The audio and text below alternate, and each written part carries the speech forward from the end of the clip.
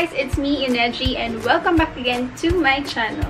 On today's video, we have a new product to review and I'm sure kilalang kilala nyo to kasi talagang nung bumili ako nito, pumila kami for hindi naman ganun kahaba yung line kasi siguro mahaba, ma mahaba maaga kami.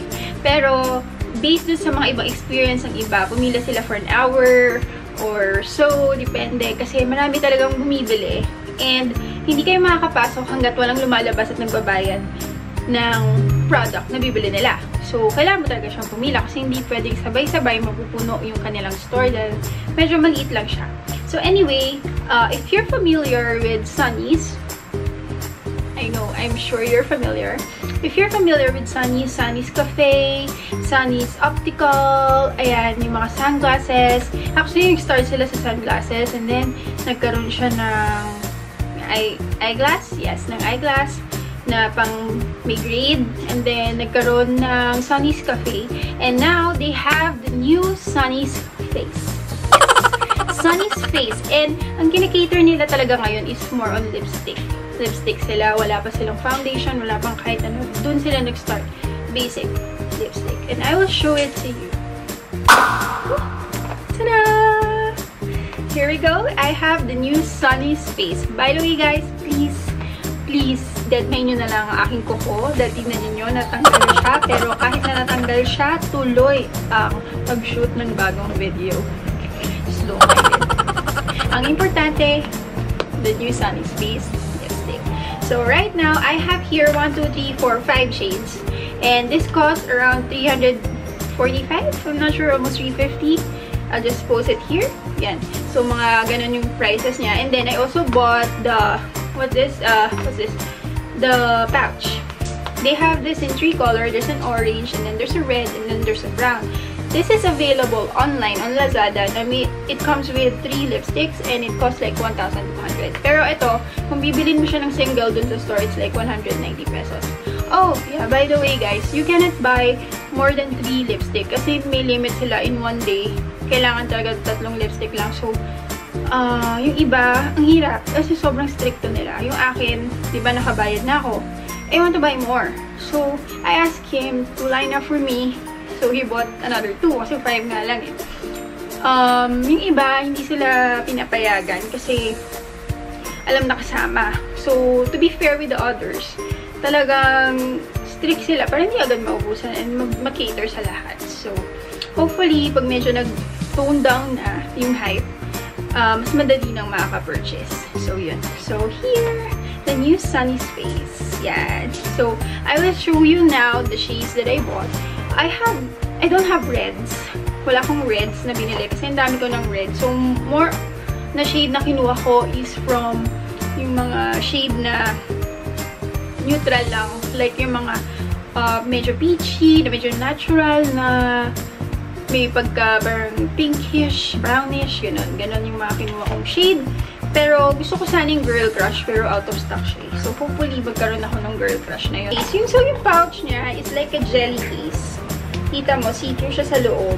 And maganda siya kasi very handy. Tsaka nabasa, hindi ka mamumroblema kasi plastic siya. Tapos meron siyang nakalagay dito na sunny space. Okay, so for the lipstick, ito, makita ninyo. I'll get one. So, for example, for the packaging, ito yung box niya. Diba? May nakalagay dyan na Sunnies. May nakalagay dyan na Sunnies sa gitna. Tapos may pangalan siya dito na circle and then there's like a face here. Yan. Very normal, natural, very simple packaging lang naman siya, the usual. So, and it also says here that your lips but better. And then may uh, website sila here, Sunny's Face, and then the ingredients. Plus, it is paraben-free and cruelty-free. Also, meron siyang expiration November 7, 2021. Can you believe that? 2021. First time I've seen a lipstick na expiration niya is 2021. Usually, mga 1 month lang. Ay, 1 month. 1 year lang yan. Usually, 12 months. Ganyan. Oh, it says here also Fluff Matte. Fluff Matte, a weightless modern matte lipstick. So, nakalagay siya dyan. And, imported by Face Party Inc. Quezon City. Yun. Tapos dito nakalagay yung kanyang shade, which is, itong isa is the mood. Okay, yung sa loob naman, nakita ninyo, ito na siya.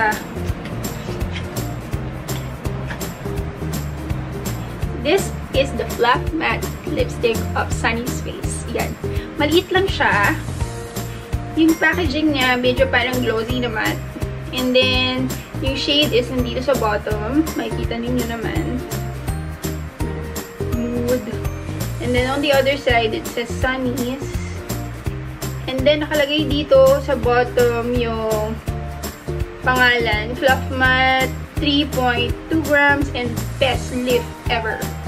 Yan, ang nakalagay. So, for example, yung loob niya, makikita ninyo, ganyan siya. Ito yung decay. Medyo parang konti yung laman niya. Hindi siya ganun karami. Yan siya, sa loob. Parang medyo maliit. Konti lang yung laman. Iko-compare natin siya sa ibang lipstick. So guys, let me show you the actual shades ng mga lippies ng Fluff Matte Lipstick of Sunny's Face. Nudist.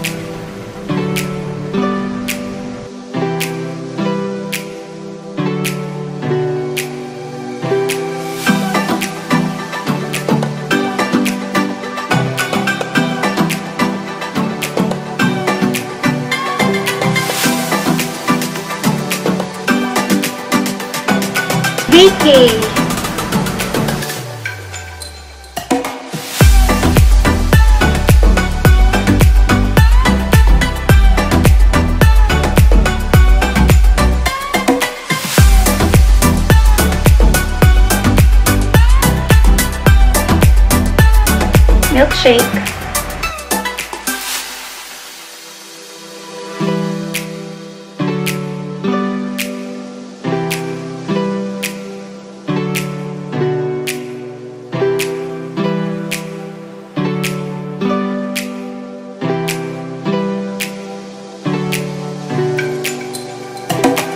One,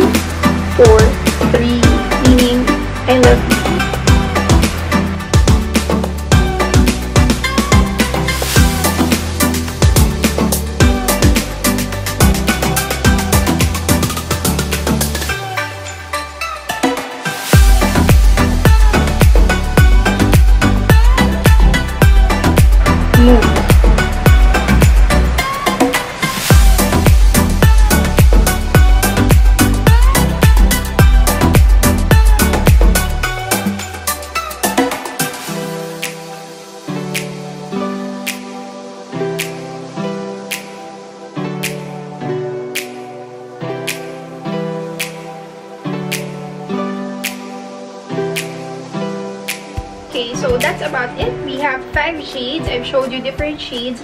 Uh, here it is. Ito na, different shades siya. So we have Nudist, we have Vacay, we have Milkshake, 143, and then the Mood. Mood is the darkest from the shade that I got. So, my verdict, my verdict, my, my verdict for this Sunny Space lipstick. Ano nga ba? Overhyped? Is it overhyped or okay ba? 50-50. 50-50 for this product. I like the packaging because it's trying to aim simplicity and hindi siya complicated. Uh, I like how they did the formulation for the ingredients. Example na lang is the expiration for 2021. The price range, mm, okay lang. Uh, typical price range of a lipstick, like BLKD naman, mga ganun din, 300 plus. Pero, if you're gonna ask me, regarding buying Sunny's face, it's okay. It's okay, it's not good, it's not bad. But, um, for me, the lipstick is like, it feels ordinary. I mean, like, I can get it from other products as well. Na ibang matte din. So, ganun din ang price range. So, in, yung line-up, um, I think it's overhyped din sa pagla-line up ng mga tao. Maybe because may name na Sunny's. Sunny's is really good when it comes to shades and sunglasses. Pero yung para pilahan ko siya ulit, para bumili ulit ako. I think yung binili kong 5 is enough. Okay na yun. Matry ko lang siya. Pero for me to buy the whole set of shade, uh, I think I won't because it has the same quality, parang same quality of other lipstick din na okay din naman. So, yun. Yun ang verdict ko. Pero okay siya. Maganda siya. It reminds me of the Romance lipstick kasi medyo fluffy matte din siya. Pero, uh, I think I like that one better. Kasi, uh, the quality of that is really good. Oh, but, of course, medyo mas mahal din naman yun kaysa dito. Pero okay na rin. Okay na rin siya. So, Sunny Space, thumbs up din naman sa akin. Ito siya. Makikita niyo ulit. Kapakita ko sa inyo. Diba? Ang ganda. Hmm. Simple lang. Not complicated. And the shades here. There you go. Yeah, by the way, guys, let's see if it's transfer proof. It's not transfer proof. And tingnan natin kung madali siyang matanggal. I have here wipes.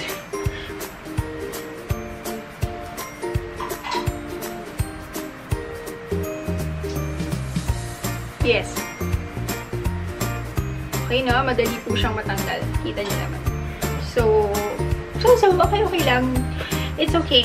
It's fine. It's not a big deal, but it's fine. So, yun guys. Uh, I hope you really like this video and I hope na nasagot ko ang inyong mga katanungan at inyong questions sa mind. Hindi. Ang curiosity ninyo kung maganda ba siya, kung dapat mo siyang pilahan or whatever. Yun lang masasabi ko. Antayin nyo na lang na mag-lay low. Mag-lay low. At at least may experience yun someday. Don't worry. So, yun. Thank you guys for watching. If you have purchased this product, please do comment below your experience on this product. And, yun, i-share ninyo yun. Kung meron man akong na-miss na information, I'll just put it in the description box. And, thank you guys again for watching. Yun lang masasabi ko. Sunny Space, thumbs up.